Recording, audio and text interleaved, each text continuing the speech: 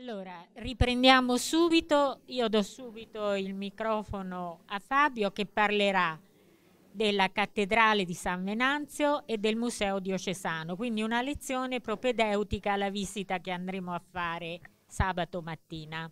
Grazie. Grazie. Allora, in realtà parlerò uh, più della cattedrale, degli inizi della cattedrale, perché poi domani dopo del museo ne parliamo allora,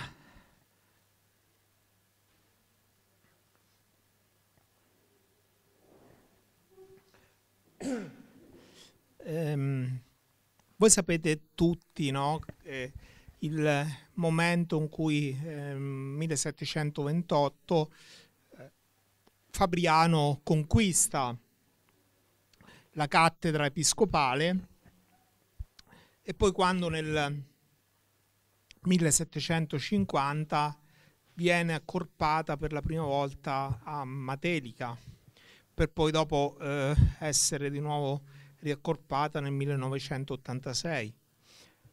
Um, ehm, adesso mh, mm, conoscete un po' tutti, no? anche perché il Palio l'ha raccontata molto, no? questo discorso, il difficile rapporto no? che i fabrenesi hanno avuto sempre con eh, il culto di San Venanzio, eh, privilegiando chiaramente il Battista. Eh, molto è stato detto no, sul Battista come, come patrono autentico no, di, eh, di, Fabriano che appunto tuttora insomma, no, eh, veneriamo insieme alla Madonna del Buon Gesù, insomma, eh, nella storia San Vincenzo Ferrer, San Bernardino a Siena, San Romualdo, no? insomma i grandi patroni di, eh, di, Fabriano. E quella che sta intorno alla cattedrale è una storia eh, tipicamente fabrianese di cui dobbiamo essere orgogliosi proprio perché racconta il tentativo di una comunità ricca, importante, numerosa, che eh, per secoli eh, tenta di avere la dignità della diocesi, tenta di ottenere dal Papa il riconoscimento della cattedra episcopale dove la cattedra episcopale significa un territorio, eh, la possibilità di gestire eh, anche mh, i frutti della, della, propria ricchezza senza doverli no, in parte destinare a Camerino e eh, tolto insomma, la, la, quota per Roma. e questo è stato sempre un percorso che ha fatto sì che come intorno alla chiesa matrice di, di, di San Venanzio, ehm, dove mille, dal 1253 viene portato da Tigio il, il, fonte battesimale, quindi diventa appunto chiesa matrice perché appunto eh, titolare del fonte battesimale cittadino ehm, e quindi ecco della, mh, consacrata con questo, con questo privilegio segna una grande storia di, di, questa comunità, una grande storia che trova, per come la conosciamo noi, la cattedrale, eh, la propria sintesi, la propria sintesi in un momento molto, molto importante. Eh, durante la seconda metà del Cinquecento, Fabriano um, conquista nuovi mercati eh, diciamo, riesce a superare un po' eh, la fase della, di crisi della produzione di carta che si era venuta a verificare nel, nel, mh, agli inizi del Cinquecento, quando ehm, Fabriano per certi versi non è che mh, non aveva esportato, cioè eh, aveva, si è molto riflettuto no, su questa crisi diciamo, una crisi per certi versi indotta dai fabrinesi che durante il 400 ehm, diciamo, esportano il know-how, no? esportano la conoscenza, il magistero in tante città e quindi durante il 400, durante la seconda metà del 400 cominciano a nascere in tutta Italia vari cartiere. Ma in realtà... Eh? Cosa? Anche all'estero. Sì, sì, anche all'estero, anche all'estero. Eh, ma in realtà eh, che cosa succede no? con questi fabrinesi che vanno appunto in Italia e all'estero a portare il know-how no, di, della nostra produzione? In realtà eh, Fabriano mh, non riesce diciamo, mh, a capire la eh, vitalità della stampa, l'importanza della stampa e quindi mh, non riesce a fare alla fine, tra la fine del 400 e, e gli inizi del 500 non riesce a fare proprio questo aggancio, no? a portare eh, in una città eh, dove portare in una città dove c'era una grande e importante tradizione cartaria, poi la nuova industria tipografica.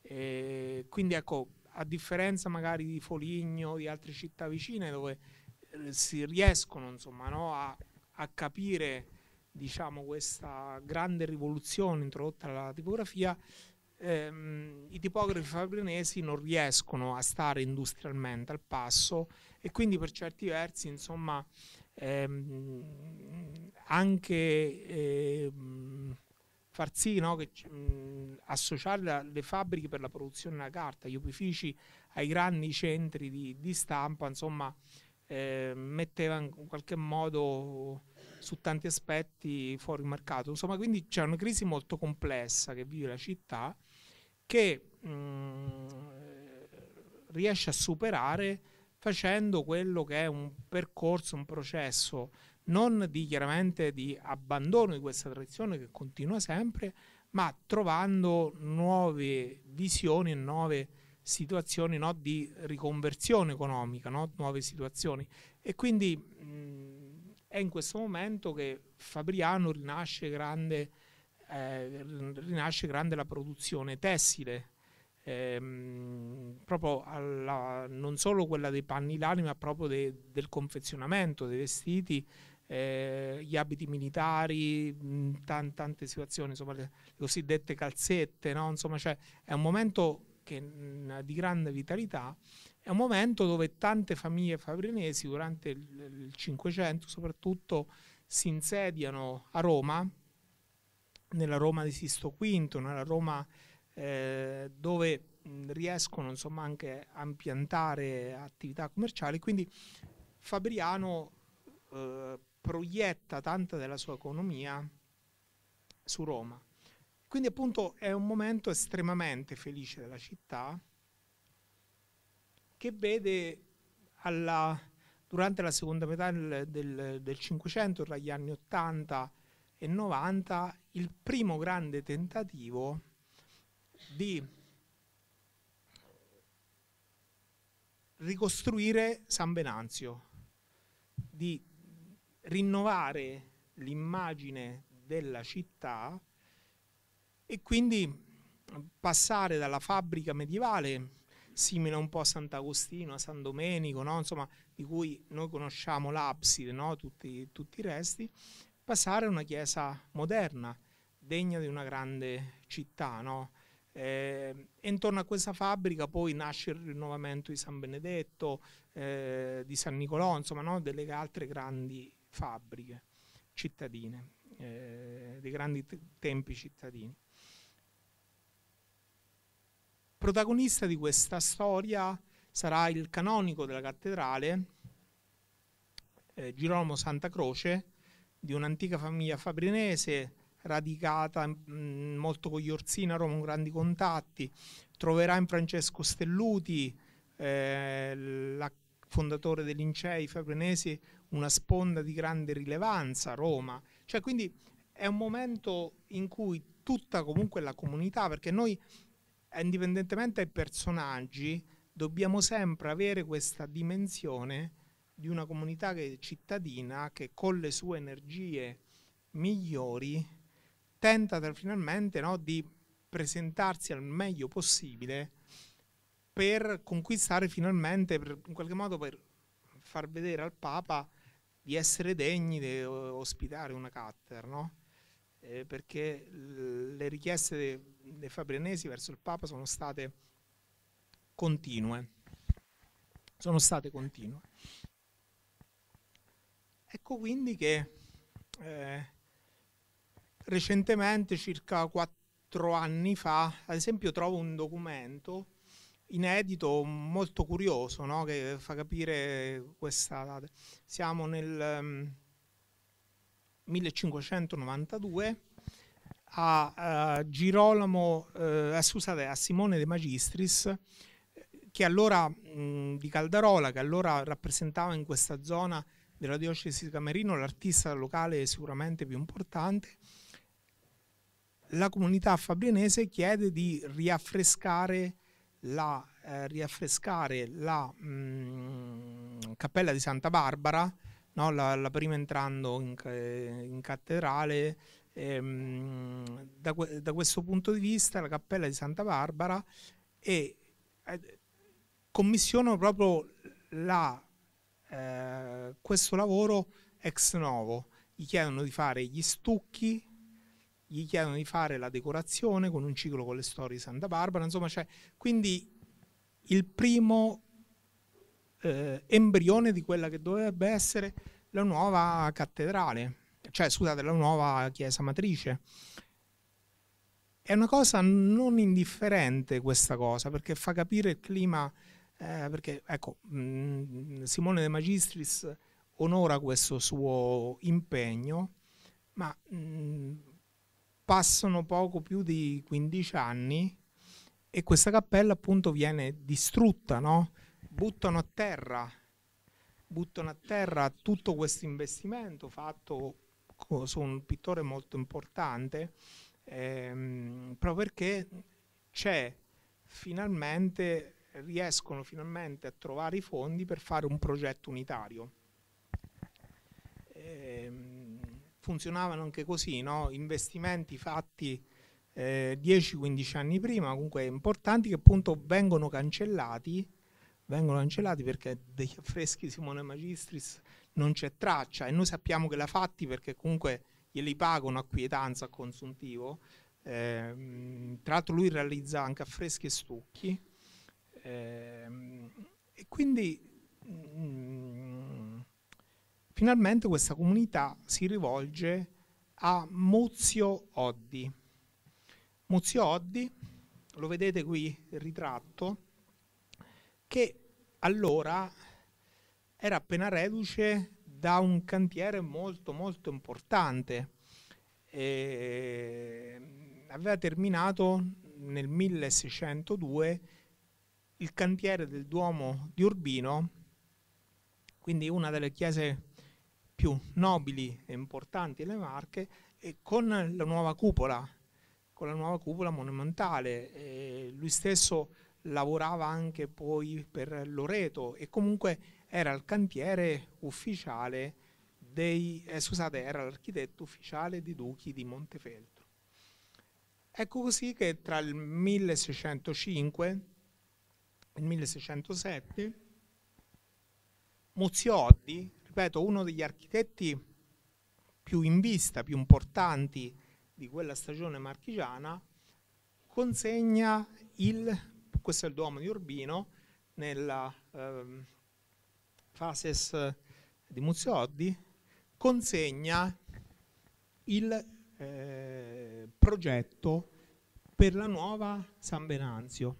Tra l'altro una cosa estremamente curiosa ehm, se ne è parlato con, varie volte con, con, Don Alfredo, insomma, che anche adesso per, ehm, si pensava di, far, di, farne una pubblicazione per una piccola pubblicazione per il, il centenario della cattedrale. Ehm, ehm, questi disegni di progetto di Muzioddi si trovano a Londra, o meglio mh, ad Hampton Court, nella eh, collezione della regina d'Inghilterra. C'è tutto un eh, fascicolo eh, di disegni, sono circa una quarantina, con tutti, eh, questa è una, una sezione, con tutti i disegni di progetto della nuova cattedrale di Fabriano e lui studia gli stucchi, gli altari, eh, chiaramente tutto, tutto, il progetto architettonico, insomma ecco quindi ehm, ecco quindi che finalmente questa comunità eh, riesce, riesce ad ottenere questo obiettivo. Poi che cosa succede? Muzio Oddi non seguirà più eh, l'andamento del cantiere, anche se comunque come eh, succedeva allora, insomma, no, gli architetti davano questi disegni molto particolareggiati e poi spesso erano architetti locali, capimastri che portavano, davano esecuzione al progetto, un po' come fanno oggi no?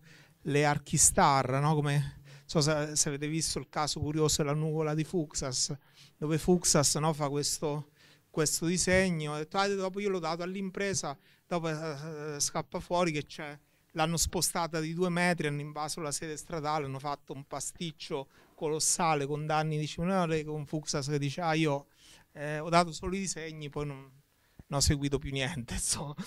No, così insomma, no. Eh, che cosa succede?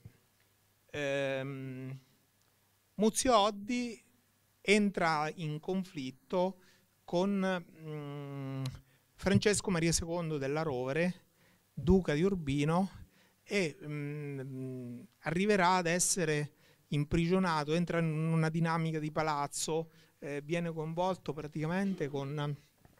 Lui era molto amico del cugino di Ippolito della Rovere che eh, aveva sede stabilmente a Gubbio e che tra Gubbio e Pesaro che in qualche modo faceva un po' da contattare, insomma entra in un cono d'ombra, ehm, viene calunniato, insomma viene rinchiuso per quasi cinque anni in prigione e quindi blocca tutta questa attività. E nelle sue memorie eh, ho prodotto no, questo, eh, queste memorie che raccontano appunto no, di questa vita, di questi anni molto duri dove lui addirittura no, tenta comunque di studiare, di fare i suoi studi eh, perché Muzzinoddi era un grandissimo anche ingegnere matematico e proprio a Urbino, cioè tra Urbino e Salleo, dove sta in prigione, addirittura no, con le, le, le ceneri, le, tenta di, di, di, usare appunto di avere delle polveri no, de, per ehm, i legni bruciati, no? tenta di avere delle polveri per disegnare, per fare i suoi studi. Infatti eh, durante questo anno, questi anni pubblica il suo studio che diventerà proprio famoso in tutta Europa sugli orologi solari il, il grande lavoro no, di astronomia, di astronomia di misurazione del tempo sugli eh, orologi solari. Eh, giaceva tra lo squallor della calcere, non era solo rapito dall'amor della scienza, ma questa stessa rivolgeva a vantaggio della sua patria. Lui forse dimentica, no? perché dopo eh, riesce a ottenere un accordo ehm, comunque viene liberato ma deve andare via da Urbino, sta per un periodo a Loreto, però dopo si sposta a Milano. Ecco però che questo grande progetto, questo grande progetto fabrianese eh, viene affidato a un architetto che si muoveva tra Loreto e Urbino, alcuni fra i più grandi sicuramente cantieri che allora erano aperti nella regione Marche e Fabriano riesce ad avere la forza economica di pensare questo tempio affidandolo a una persona così importante. Eh, ripeto, noi oggi conosciamo mh, forse magari di sfuggita il nome di Muzzo Obdi come mh, progettista della nostra cattedrale, ma in realtà eh, fu fatto un percorso assolutamente importante. No? Questo ecco, è eh, la parte dell'abside, la, la, facciata che noi tutti conosciamo e gli interni. L'altro aspetto qualificante della nostra cattedrale, di questo progetto, questo progetto che appunto viene pensato a Roma, sono gli stucchi. Ehm, sono stucchi bellissimi di grande qualità che voi tutti conoscete, che vede all'opera mh, la comunità di Fabriano chiama Francesco Silva o Selva, eh, stuccatore ticinese, che quando arriva a Fabriano, intorno al 1613, ci rimarrà fino a verso il 17-18, ehm, aveva un pedigree di tutt'altro, eh, di grandissimo rilievo. Appena prima di stare a Fabriano aveva licenziato la ehm, Baristucchi dentro la sagrestia, dentro la Basilica di Loreto, no? e quindi ecco ritorna l'approccio con Loreto. Ancora prima era venuto nel centro Italia per lavorare all'atrio della Basilica di San Pietro in Vaticano. Cioè queste grandi botteghe no, specializzate di stuccatori, quindi dal Vaticano alla Basilica di Loreto, anche la Basilica di Loreto è una basilica papale, a Fabriano, a Fabriano dove lascia la sua impronta e dopo Fabriano ritorna nel nord a, mh, mm, questo è un altro esempio lauretano, ritorna nel nord, nel caso specifico a Varese, dove eh, realizza la Basilica del Sacromonte e tutte le storie del Sacromonte di Varese dove eh, ci rimane vent'anni, vent'anni quasi a lavorare con eh, questo, ecco vedete tutte le statue in, in stucco, insomma no, con, eh, sono circa 20 quadri eh, che, mh, mm, eh, di questo eh, itinerario sacro. E questo è lo scultore, è il, maestro plasticatore di gessi che lavora nella nostra cattedrale, no? Insomma, è questo il grande protagonista insieme a Selva eh, perché che obiettivo no, aveva la decorazione stucco? Di dare no, chiaramente la visione unitaria. Eh, la nostra cattedrale ha una eh, visione molto, molto armonica che adesso chiaramente la, la, dovevamo pensare chiaramente con il cielo con eh, anche il soffitto dipinto no? quindi una visione molto armonica eh, moderna ehm, piacevolissima insomma cioè, ehm, forse diciamo la, la facciata non rende no, la, la, semplicità della facciata non rende la ricchezza di quello, ma sicuramente se, se lo stesso Muzioddi avesse seguito il, il, cantiere avremmo avuto anche una facciata eh, in, più simile a quella anche di Urbino, quindi ancora più monumentale. No? Questi sono i destini della storia, però lui questo cantiere l'ha seguito pochissimo, infatti anche nel nostro archivio diocesano praticamente non ci sono documenti sulla presenza di, di Muzioddi, però ecco, sta di fatto ecco, che vedete ehm, questa ricchezza, delicatezza, ehm, anche gli stucchi che nelle cappelle laterali, ehm, non parlo quelle di decorazione architettonica, ma quelle di decorazione agli altari sono affascinantissime. Domani ci soffermeremo a vedere, ta, scusate, sabato ci soffermeremo a vedere tanti dettagli. Ecco quindi che ehm, finita questa fase più impegnativa, che è quella appunto dell'architettura e della decorazione unitaria, ecco quindi che inizia il grande, eh, felice lavoro di dialogo sempre con Roma per comprare o riuscire a portare i grandi maestri, eh, le figure che erano chiaramente più importanti sulla eh, piazza di Roma.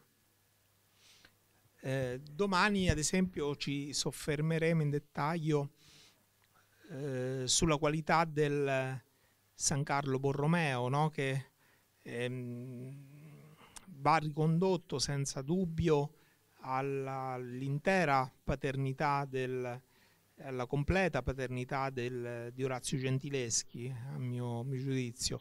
Eh, la vecchia teoria che fosse una eh, immagine di collaborazione iniziata da Orazio Gentileschi e terminata da Guerrieri non rende giustizia alla bellezza di questo dipinto, però ne parleremo domani davanti a quel dipinto. Eh, che cos'è che è un po', eh, scusate la banalizzazione, insomma, che cos'è che eh, ha, ha, rovinato un po' la percezione storica di questo dipinto? Il fatto che San Carlo Borromeo, bontà sua, non fosse un, ehm, non ci avesse una, la fisionomia di un fiore, insomma. Quindi eh, Gentileschi ha un po' inasprito un po' questi caratteri, insomma, un po' così eh, provati, eh, sofferenti, che quindi mh, per certi versi hanno spostato rispetto eh, la visione di, quest, di, questo santo rispetto alla bellezza di questo angelo che gli sta sopra, insomma, no? che...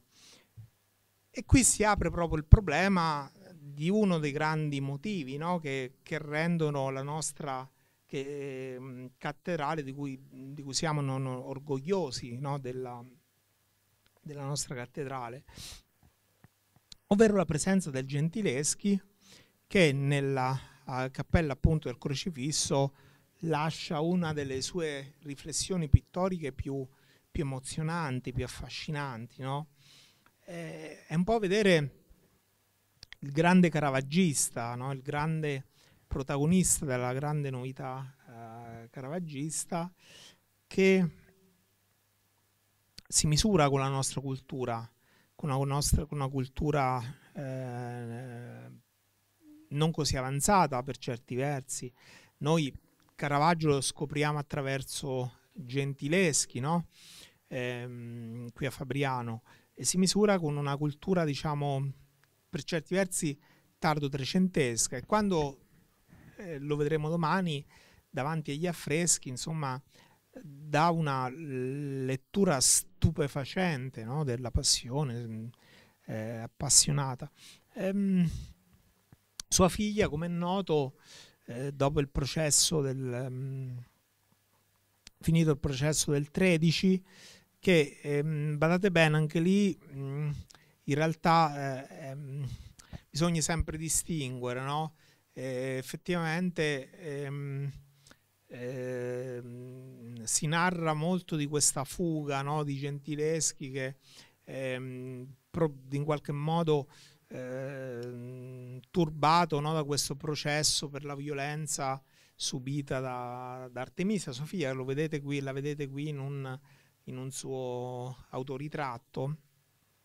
In realtà comunque sia, eh, lui l'aveva fatta sposare ehm, e mandata a vivere a Firenze, quindi l'aveva ehm, sistemata e sostenuta degnamente no? la figlia per superare questa, questa situazione e comunque sia, mh, diciamo, eh, il processo non aveva portato, questo è importante, spesso mh, eh, perché se, se no altrimenti si ha l'immagine no? di, un, eh, di, un, padre quasi colpevole no? che è costretto a fuggire per chissà quale disonore. No, in realtà il disonore era stato quello di, ehm, del Tassi, del collega di Gentileschi, di, di Matteo Tassi, che ehm, diciamo, invaghito con, con, questo trasporto insomma, anche giovanile di,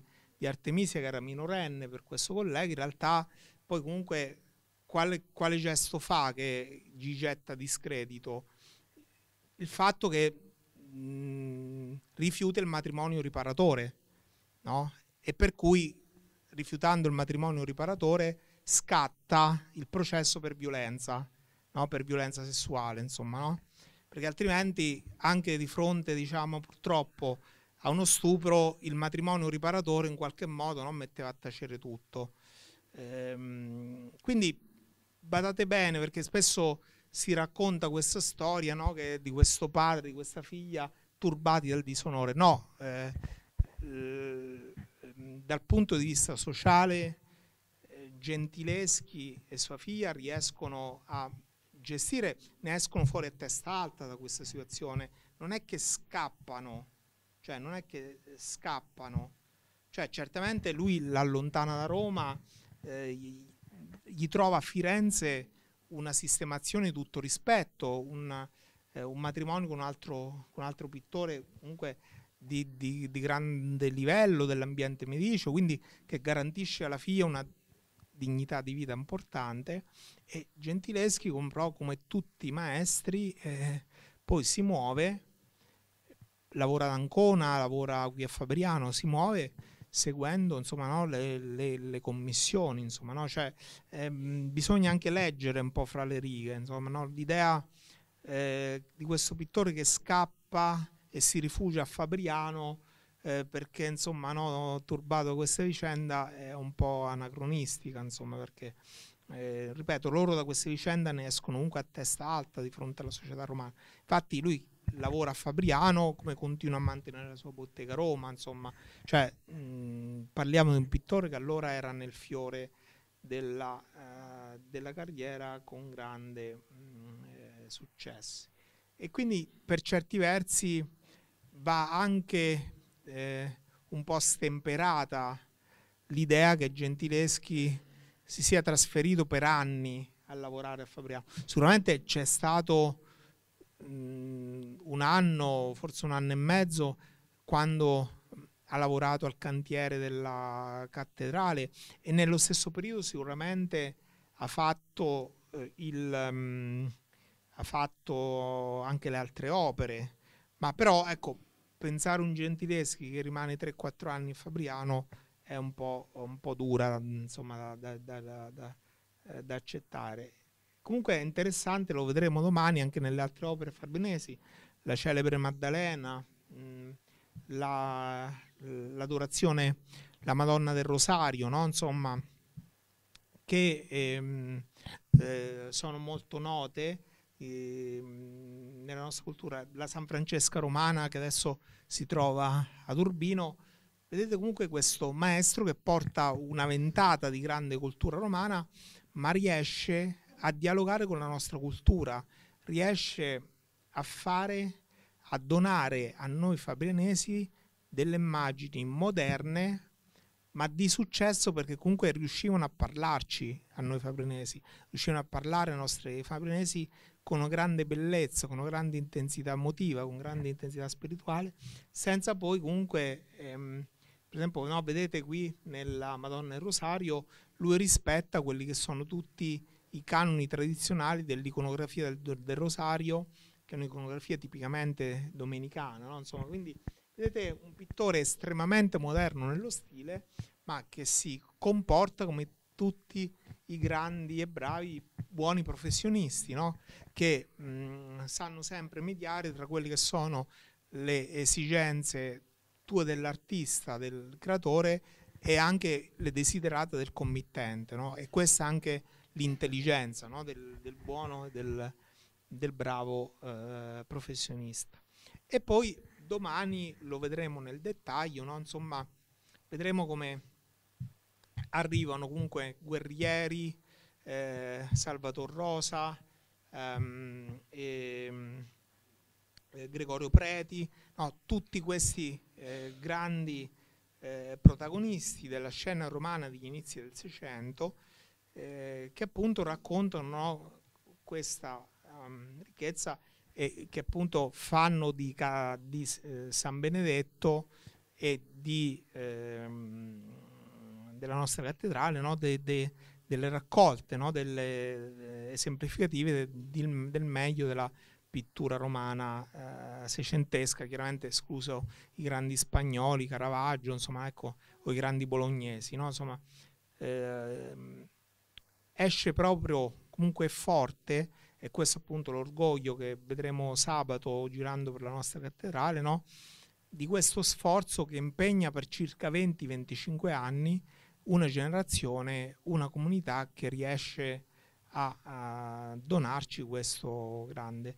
E davvero la nostra cattedrale mh, è comunque un mondo, no? perché come tutte le grandi chiese importanti poi c'è mh, una stratificazione che vedremo tanti aspetti, ma anche nel, negli oggetti, nelle arti minori, che voi tutti quasi conoscete, ci sono ancora delle chicche da studiare estremamente eh, interessanti. Però ecco, come introduzione storica volevo che aveste ben chiaro proprio questo concetto no? di come è nata e di quello che è stato lo sforzo di questa grande eh, comunità.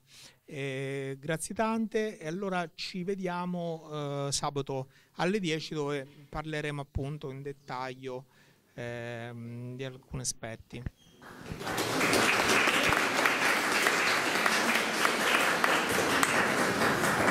Buonasera a tutti e a arrivederci.